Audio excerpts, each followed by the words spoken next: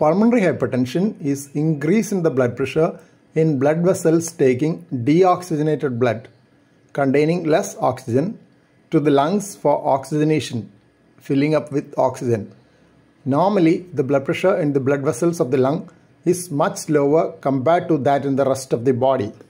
Blood for oxygenation received from the body is pumped into the lungs by the right ventricle, right lower chamber of the heart.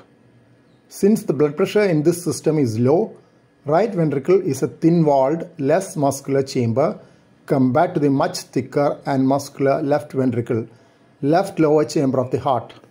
When the blood pressure in the lungs rises, the right ventricle finds it more and more difficult to pump blood.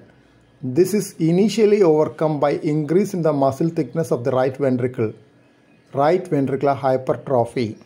If the pulmonary hypertension goes beyond a certain limit, the right ventricle fails. When the right ventricle fails, blood dams up in the veins of the body, blood vessel carrying deoxygenated blood. This in turn leads to retention of fluid in various parts of the body, edema, which can manifest as puffiness of face and angle swelling. In other situations, when the right ventricle cannot pump enough blood to the lungs, blood returning to the left side of the heart from the lungs for pumping back into the rest of the body decreases.